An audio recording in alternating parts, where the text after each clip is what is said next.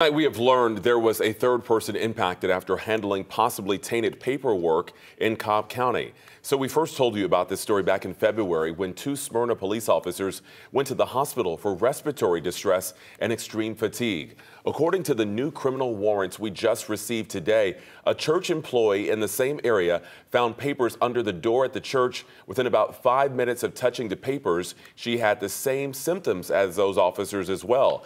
It wasn't until after the news report about the officers that the pastor was able to connect the employee's symptoms to the investigation.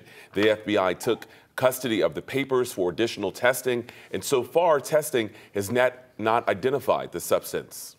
Now, the suspect in this case, 51 year old Little Stone, is now facing an additional charge of felony aggravated assault with intent to murder on top of the charges already tied to the police officer's illnesses. He remains in jail tonight without bond.